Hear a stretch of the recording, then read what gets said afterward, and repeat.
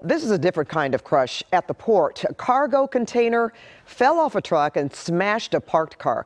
Meanwhile, the log jam of ships is so serious you can now see them all the way in Santa Monica. KCAL 9's Laurie Perez has the newest port problems.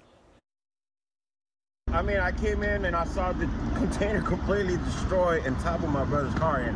Honestly, I was just shocked. I'm glad he wasn't in the vehicle. A shipping container fell off a truck and onto an empty parked car Tuesday.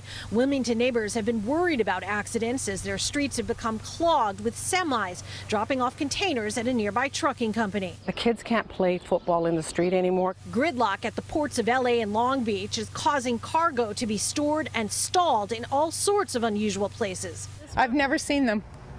This is the first time. That's funny. We were walking earlier and I went, is that a cargo ship?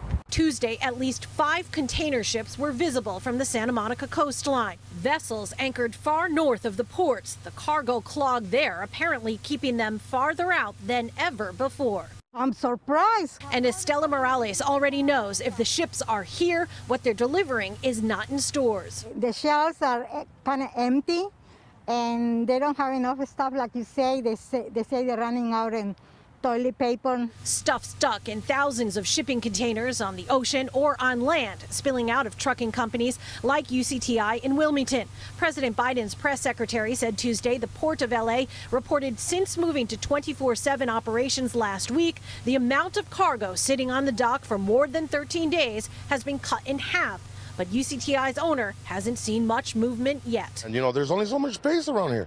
The Port of LA's executive director said about 200,000 containers remain on ships off the coast. In Santa Monica, I'm Laurie Perez, KCAL 9 News.